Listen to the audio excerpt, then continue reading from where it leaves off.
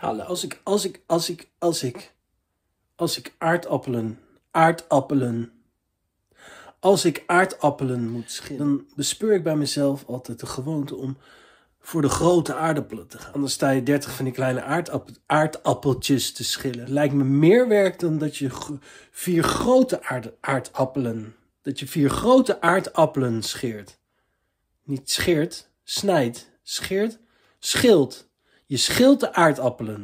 Zie ik raak nu aan de war. Maar nu denk ik dus net bij mezelf. Maar als jij een hele grote aardappel scheert, schilt, is het waarschijnlijk evenveel werk als dat je 15 van die kleine aardappelen aan het schillen bent. Want het oppervlak is het oppervlak van de aardappel is veel groter dan van die kleine aardappel. Dan moet je zelf bij jezelf dus te raden gaan.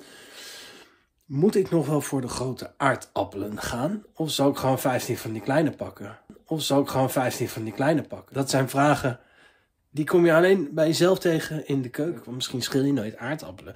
Of misschien scheert, scheer, misschien zuipkop, aardappelen. Misschien schil jij de aardappelen wel helemaal niet in de keuken. Dus dan kom je deze vraag helemaal niet tegen in de keuken. Schil jij je aardappelen gewoon in de badkamer? Ja, dan moet je naar de badkamer gaan. Die fucking aardappelen van je schillen, man. Wat de fuck heb ik daar weer mee te maken? Ik doe het in de keuken.